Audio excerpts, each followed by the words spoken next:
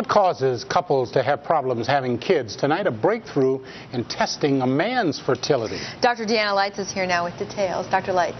Allison Warner, up to one in four men getting fertility tests have a problem that the standard tests don't measure. As a result, they often try costly treatments that never work and then wonder why they can't have children when the tests show that they should. Well, now there's a new test that can discover the real problem these men have. It's damage to their sperm's DNA.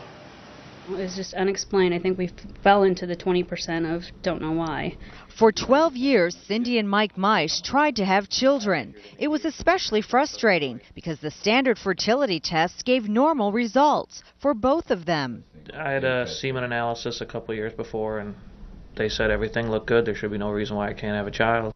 The standard semen test counts sperm and measures how fast they move. But there can be another problem with sperm, a problem Mike had that standard tests don't find.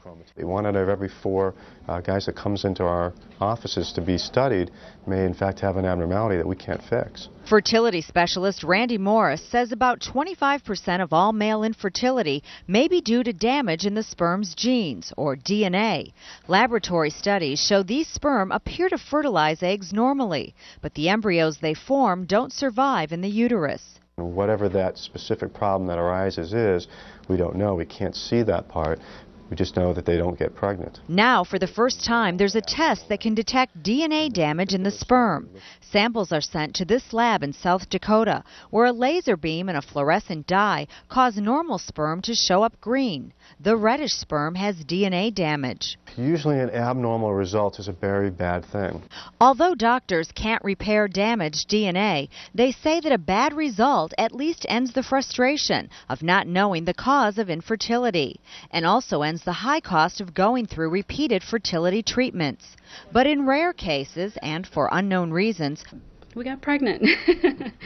We're just thrilled. Uh, they, they, are the only couple that we have so far with an abnormal test that has achieved pregnancy. Cindy and Mike already have a 3D ultrasound of their baby boy, and they're hoping for more. My wife would love to have a daughter, so we'll try for a girl.